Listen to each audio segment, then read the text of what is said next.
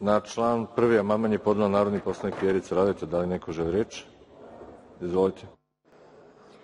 Najpre samo jedna rečenica vezano za ove događaje u rektoratu. Vi se nama ovde danima žalite da se tamo dešava nešto nezakonito, da tamo sede neki ljudi, da su zauzeli rektorat neki ljudi koji nisu studenti i očigledno je i kad se vide oni snimci da to jeste tako, ali ne razumemo zašto vi o tome govorite ovde, zašto nadležni organi ne reše taj slučaj. Zašto nadležni organi ne odu i ne naprave trijažu? Ko je student može da ostane, ko nije, molim lepo neko izađe. I vi onda nama pričate da mi nešto demagoški pričamo. Vi biste da se ne zamerate tom Savezu za, Srbiju, kako se oni zovu, i dozvoljavate im da prave takve incidentne situacije i ne činite uslugu ni studentima, ni fakultetima, ni univerzitetu, ni ministru na kraju krajeva. Ali dobro, nadam se da ćete vi to da rešite, pametni ste vi. Što se tiče e, ovog predloga zakona, ovog konkretno amandmana i svih amandmana, e, meni je obrazloženje Vlade zbog čega ne prihvata naše, naše amandmane fascinantno. U jednoj rečenici kaže Vlada amandman se odbija s obzirom na to da je rešenje u predlogu zakona celishodnije. E, ja ću sad da vam objasnim da nije celishodnije. Znate li zbog čega? Pre svega zbog činjenice da ćemo istu ovakvu sednicu imati za dve godine. I to budite sigurni da će biti tako. Zato što e, ovi e, studenti koji, koje evo i mi smo ovde počeli da zovemo starim studentima, studenti koji studiraju duže iz ovih ili onih razloga, neće svi ni po ovom zakonu sada izmenjenom za dve godine ispuniti svoje obaveze i neće završiti fakultete. Sada se kalkuliše da li ih je 3, 4 ili 10 hiljada. Za dve godine će biti pitanje da li ih je hiljadu, dve ili pet hiljada. Neko je ovde čak rekao možda neko nikada neće završiti fakultet.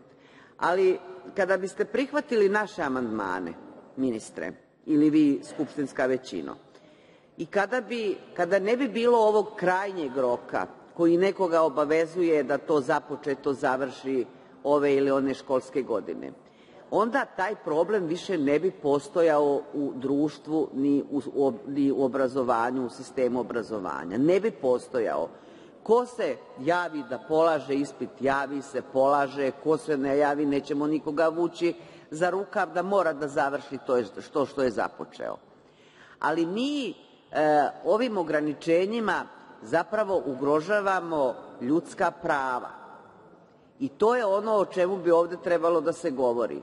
Rečeno je ovde i da košta to što će nekome da, da se omogući da duže studira. Pa on plaća to, to duže studiranje. Ako mislite da je to malo, povećajte školarinu. Mi se zalažemo da redovni studenti studiraju o trošku države. A sada to nije slučaj, ministre. To se kod nas samo kaže, na budžetu je i šta? Da, na budžetu je ne plaća školarinu. Sve drugo plaća. Dakle, to što košta zato što jedan profesor uh, sad mora da se podseti na neki drugi program, pa ne znam, ne znam zašto bi to koštalo. On radi za tu platu, pa radi. Ovde je bilo govora i o nekim, ne znam, posebnim vežbama koje negde mogu da se pojave, pojave pa ne znam, nija, pa nije se valjda ništa rashodovalo po fakultetima. Nije se valjda u, hemiji, ako smo mi preuzeli ovaj ovaj, ovaj nikakav bolonjski sistem, nije se u hemiji kao nauci ništa promenilo, bar nismo obavešteni. I verovatno u tim kabinetima sve što je bilo tada postoji i sada. A ne znam da li vi uopšte primećujete kroz ovu raspravu, a, vi ste zapravo potvrdili ono što su neke kolege koji su sada u većinskoj poslaničkoj grupi, a bili su tada u poslaničkoj grupi Srpske radikalne stranke, zajedno smo se borili protiv uvođenja bolonjskog sistema. Ne reda radi, već argumentima.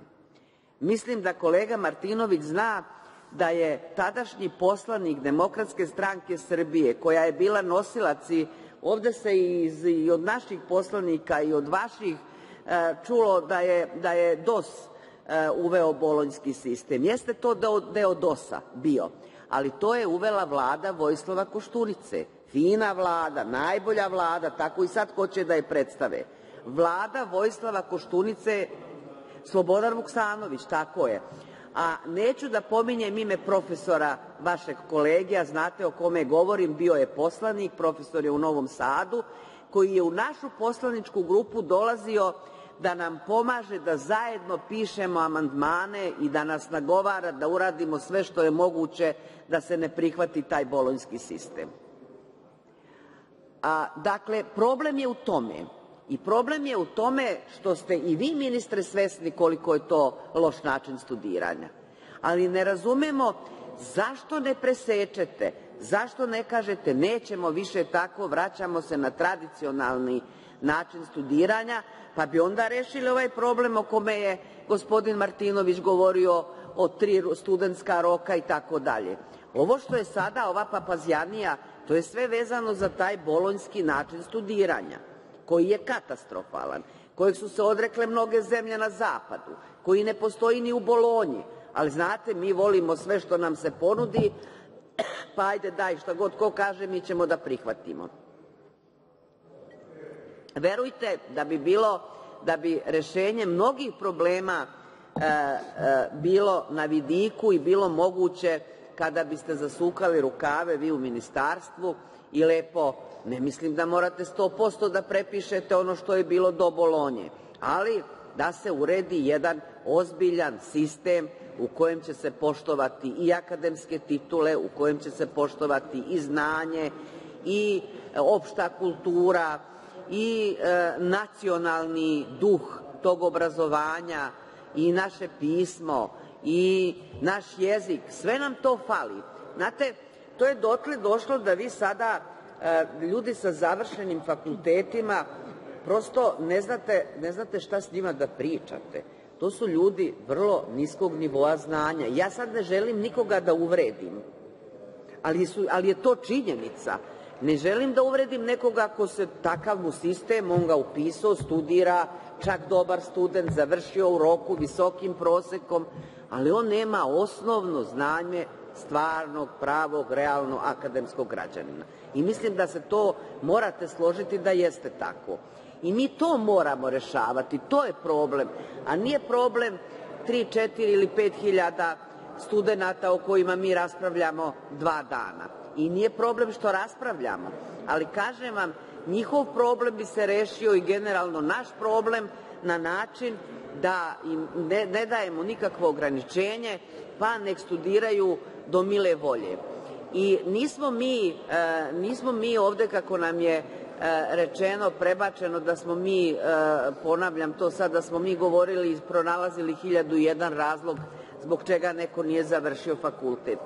Niti smo rekli da imamo razumevanje za nekoga ako studira 15-20 godina, niti smo rekli da je to dobro, niti smo iznosili koji razlog treba da bude relevantan da se nekome to uvaži, nekome ne uvaži. Ne. Rekli smo ljudsko, osnovno ljudsko građansko pravo je ustavom garantovano da svako mora pod istim uslovima da se školuje.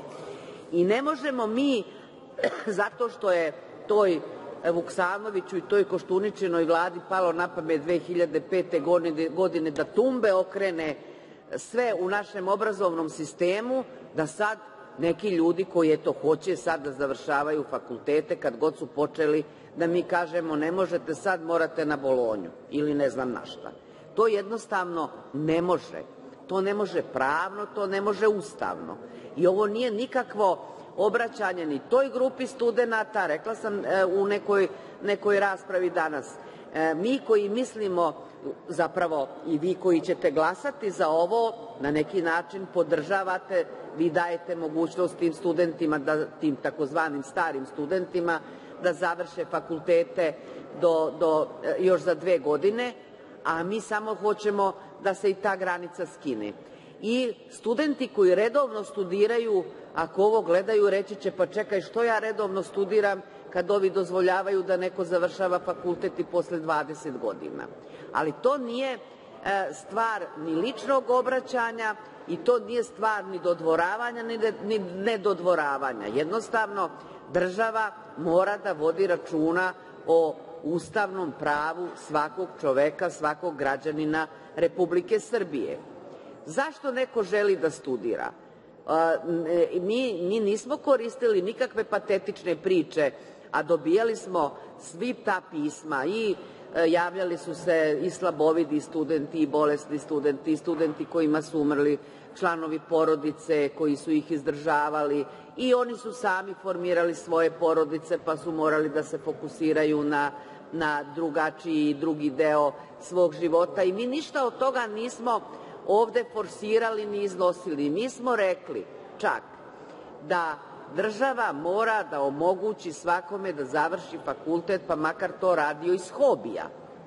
Evo imate, pogledajte internet, imate e, našeg čoveka koji je završio fakultet u 88. godini. Eto, htelo mu se. Hoće da završi fakultet. Imamo, imate primer, čovek je Nemac je u pitanju, e, iz ultra bogate porodice, nije morao ništa u životu da radi. On je radio kao turistički vodič i još iz hobija završio tri fakulteta. Pa je trebala država da mu kaže šta će ti to? Kao što se ovde čulo šta će nekom fakultet sa ovoliko ili sa, onoliko godina. Pa evo, ajde da se pitamo šta će lekarima fakultet sa 24 godine kad su već dve, tri godine na, na, na Zavodu za zapošljavanje.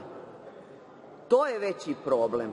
To je veći, neko je i govorio od poslanika vlasti da treba mi da se zabavimo i tim problemom. To svakako jeste problem. Niko ne kaže da onaj ko je završio fakultet za 20 godina, da on treba da ima prioritet kod zapošljavanja. To je stvar poslodavca. Da li je neko već radio na nekom, na, kod nekog poslodavca i posle 20 godina mu se pojavi sa diplomom, Možda je on bio zadovoljan njegovim radnim angažovanjem, pa će da kaže e, sad ćete plaćati kao diplomirano nešto zato što si završio fakultet. Drugi će da kaže, pokaže mu diplomu, šta me briga tvoja diploma, me ne interesuje, ako hoćeš radi ovo što si do sad radio, ako nećeš traži sa tom diplomom posao negde drugde. Kada smo birali sudije u jednom sazivu, tada smo iznosili konkretne primere, primere i imali ste kandidate za sudije za koji je vladajuća, koje je vladajuća većina glasala, koji su studirali 9, 10, 11 i 12 godina. E, mi smo tada takođe reagovali i rekli da je to neprimereno, da ne može prosto neko ko studira 12 godina, kakve god okolnosti su da, u, pitanju, on ima dozu neodgovornosti u svom ponašanju. Kogod ima dozu neodgovornosti u svom ponašanju ne može biti sudija. E tada su nama poslanici vlasti govorili kako vi možete tako, pa to je lična stvar svakoga, možda je duže studirao zato što je bio bolestan, možda zato što se oženio, udao, što su dobili decu i tako dalje. Znači, kad vama trebaju ti argumenti da biste neke e, pojedinačne slučajeve rešili, onda izlazite s tim argumentima. A kada mi kažemo iznosimo te argumente da se reši generalno jedan problem i da nikada više o tome ne raspravljamo, vi onda šta kažete? Vi kažete onda da smo mi populisti i ne znam šta. A ja vas pitam, kad budemo za dve godine ovde raspravljali o tome, pa kada vam budemo citirali ovo što ste danas govorili, koji budete ovde, da li će vam biti neprijatno? Nemojte ljudi, i sad smo se prisetili, mi koji smo duže u Narodnoj skupštini, vidite kako se često prisetimo šta je neko nekada govorio, možemo i sad i bez gledanja da, da, da citiramo mnoge kolege. To će se desiti i posle ovoga. Zato nije, nije dobro što niste prihvatili naše amandmane, jer nikome ništa, što je najgore, nikome ništa u državi Srbiji loše ne bi bilo da se ovi amandmani prihvate. Nikome apsolutno ništa loše niti lošije ne bi bilo od onoga što je sada. I e, moram e, zaista da, da prokomentarišem e, nekoliko rasprava koje su bile u onom prethodnom delu pre nego što je Arsić naglo prekinuo rasprave. rečeno je ovde, jedan kolega je rekao da ovo što neko studira tako dugo da između ostalog posledica činjenice da su Srbi aljkavi i nemarni. To je neprimereno. Moguće da među ovim studentima koji nisu završili fakultete ni za 10, 12, 15 godina ima i aljkavih i nemarnih, ali ne može se to reći da smo mi kao narod takav, prosto ne ide da se to kaže. Mi smo, e, da, pre nego što, što e, zaokružim ovu priču vezano za ovo, ministre, za vas konkretno pitanje. Vi ste, kad smo u načelnoj raspravi govorili, nekako pomenuli, ali nisam sigurna da sam vas dobro čula. Da li ostaje stav da ćete vi kao ministarstvo dati preporuku fakultetima da se i ovim da bolonjci ovi ne moraju da se reupisuju i već šta je u pitanju. Pa evo, dobro je da, da to potvrdite, jednostavno da, da znaju i ti ljudi, i ti ljudi da, je, da je to tako. A, mi vama, e, ovde je danas govoreno da je vas neko napadao, ne znam da li je to bilo po nekim medijima, ali nešto nisam primetila, zato što ste kao rekli da nećete, pa sad hoćete ovo da podržite. Mi iz Srpske radikalne stranke vas na tu temu nismo napadali, mi smo vam samo izneli činjenicu da ste vi tog 12. avgusta rekli da ni slučajno ovo neće da se desi, u međuvremenu se desilo. E pa mi ćemo na isti način razgovarati i sa kolegama koji sada kažu da je dve godine kapak, kraj, nema dalje, kad budu za dve godine morali ponovo da raspravljaju o tome i onda opet će neko da kaže sad ćemo jednu godinu, dve, tri ili ne znam koliko. Mi vas dakle pozivamo, još nije kasno, prihvatite ovaj amandman Nataše Jovanović je jedinstven jer on obuhvata ceo, ceo član koji se zapravo menja i da rešimo problem tih studenata što se tiče nas, Narodne skupštine, vas, ministarstva, države, a da će univerziteta, a da li će oni i dokle će studirati, njihova volja.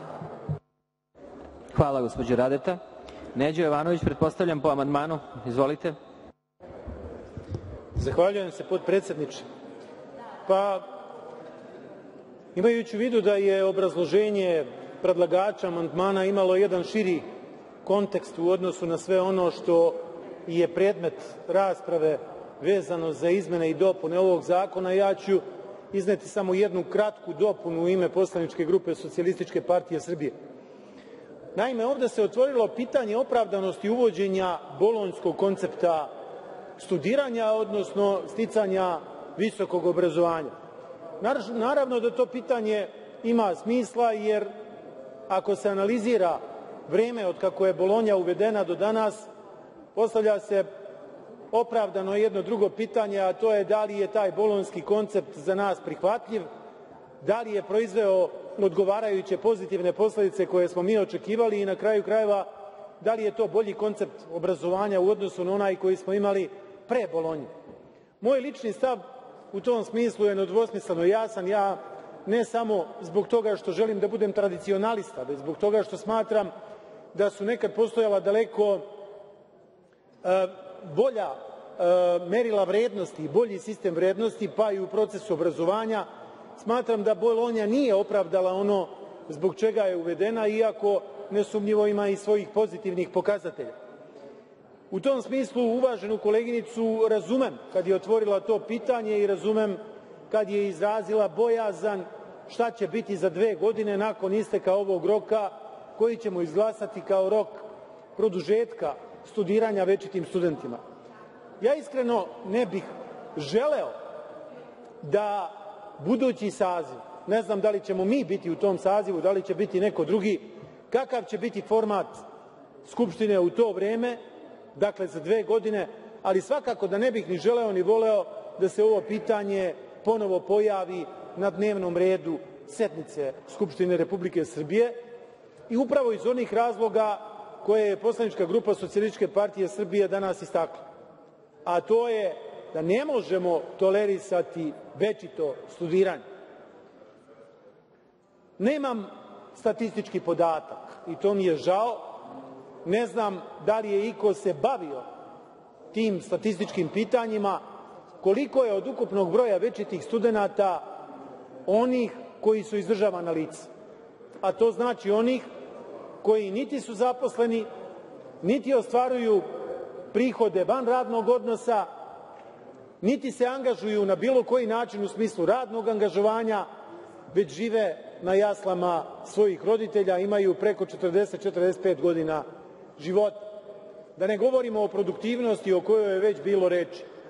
Postavlja se pitanje kako takvi nisu trošak države. To su lica koja da su se posvetila sticanju obrazovanja, naročito visokog obrazovanja, do sada bi postali korisni članovi društva i društvene zajednice. Ostvarivali bi prihode od kojih bi odgovarajuće prihode imala i država u smislu popunjavanja budžeta kroz doprinose penzijskog i invalidskog osiguranja. Šta imamo mi od tih takozvanih izdržavanih lica? Ništa osim štete. Ništa osim uskraćivanja popune budžeta tamo gde je budžet mogao i morao biti popunjen. Šta imamo mi od tih koji troše porodične budžete svojih roditelja, koji mogu biti relaksirani da nije tog tereta? Šta imamo mi od tih koji ne rade bukvalno ništa da bi ovoj državi pomogli i da bi ova država stekla od njih odgovarajuću korist?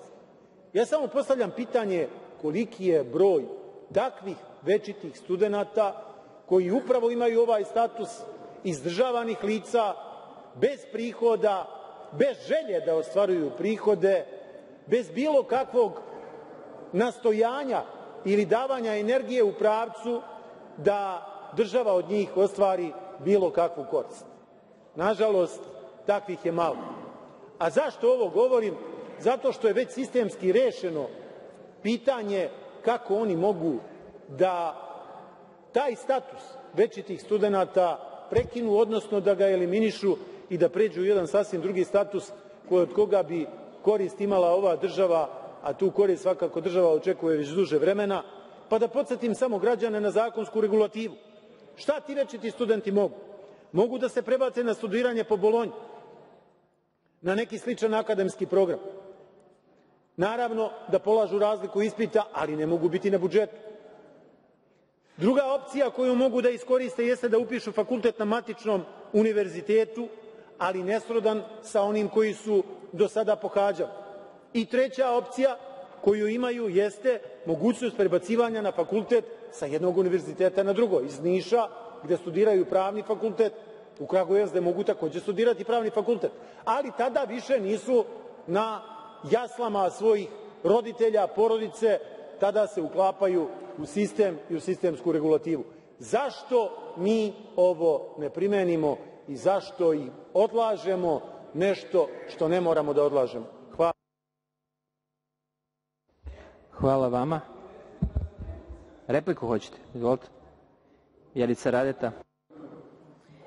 Pa zaista se ovde čulo, pošto je povod bio amandman koji sam ja podnela i kolega je i pomenuo to, ali ovde su se zaista čule neke u najmanju ruku čudne stvari. Prvo, mi moguće nemamo onda iste podatke ili nemamo prave podatke. Kaže kolega da su ovi ljudi koji nisu završili fakultet u roku ljudi bez prihoda. A kako mi to znamo? Kako mi znamo da su to ljudi bez prihoda? Možda imaju 20 godina radnog staža, možda rade, možda imaju privatne firme, možda se bave poljoprivredom na roditeljskom imanju. Kako mi znamo i mi ih osuđujemo zato što su oni ljudi bez prihoda? A nažalost mi imamo još uvek dosta nezaposlenih, visoko obrazovanih ljudi na tržištu rada koji su ne svojom voljom ljudi bez prihoda, a završili fakultete i to na vreme i sa dobrim prosekom. E, je takođe rekao da ti ljudi koji još nisu završili fakultete nisu korisni članovi društva. Pa to je uvredljivo. Pa da li to znači da bilo ko ko nije završio fakultet nije koristan član društva? Pa jeste, na svoj način, na neki drugi način. Nije sama diploma dokaz da je neko koristan član društva. Ne znam, ne znam odakle potreba da se ti za nas potpuno anonimni ljudi na, na tako neki uvredljiv način da im se ophodimo. Šta Da, a, kaže da su to izdržavana lica. A kako mi znamo da su oni izdržavana lica? Pa verovatno su dok su bili izdržavana lica, dok su mama i tate plaćale, oni i učili, pa onda odjednom mama i tate nisu mogli više da, da, da plaćaju i oni onda više nisu izdržavana lica, već se sami izdržavaju, izdržavaju svoje porodice. Možda su neki totalne bitange koji sede tamo ispred onih prodavnica i piju ili kockaju ili ne znam. Ali nije to tema ni naše rasprave, niti ovog predloga zakona. Kaže, troše pare svojih roditelja. Pa vo ime oca hoćemo mi odavde da upravljamo parama nečijih roditelja. Kakvo je, kakva je to primedba troše pare svojih roditelja? Pa roditelji su možda neki, eto, hoće da budu žrtva svoje dece, slagali su pare ceo život i kaže, evo ti sine, čerko, studiraj dok ne završiš, makar to bilo 50 godina, ja ću sve da, stu, da, da finansiram. Hvala. I nama to problem, neverovatno. Hvala, gospođo Radeta. E, Neđo Jovanović, pravo na repliku, izvolite. Javio se i Đorđe Komlenski, pretpostavljam po amandmanu. Da je naš najveći problem u toku zasedanja što se nedovoljno slušamo ili se možda nepažljivo slušamo. Ja sam bio vrlo jasan, jako precizan kad sam rekao žao mi je što nemam potreban podatak, klasičan statistički podatak koliko je od večitih studenta onaj broj koji bukvalno ima tretman izdržavanih lica koji niti rade, niti žele da rade, a izdržavaju se od porodičnih budžeta svojih roditelja. Daleko od toga da imam bilo šta protiv da ti roditelji, ukoliko mogu, da ih izdržavaju 100 godina, ako žive 100 godina, i da sve to vreme svoja čeda, svoje mezimce i tako dalje izdržavaju, pa neka studiraju koliko god mogu. I 50 godina ako hoće da studiraju, nek studiraju. Govorio sam o nečem drugom. Govorio sam o problemu da za sve to vreme država Srbija od takvih lica nema apsolutno nikakvu korist. A da se isto takva lica, upravo zbog toga što nemaju prihode od kojih država može da ima svoju korist, od kojih mogu, može da se popunjava budžet. Država ne može imati ništa drugo osim štete. Tu je osnovni problem. I da ne bude demagogija, jedan uvaženi kolega i prijatelj je malo pre mi rekao, dobro, hoćete vi da glasate ili nećete? Pa, ispade demagoški, naravno glasat ćemo za ove izmene i dopune zakona, ali nadam se poslednji put. I nadam se da budući saziv ovog parlamenta neće imati na dnevnom redu ovo pitanje. Želim da tako bude. Želim da mi o ovom pitanju više nikad ne vodimo diskusiju. Zbog toga što ovo pitanje mora da se reši u interesu države, a u interesu države je da se više ne produžava i da ovo bude poslednji rok produžetka statusa večitim studentima. Zahvaljujem se. Hvala gospodine Jovanoviću. E, Reč po amandmanu ima gospodin Đorđe Komlenski. Izvolite kolega Komlenski.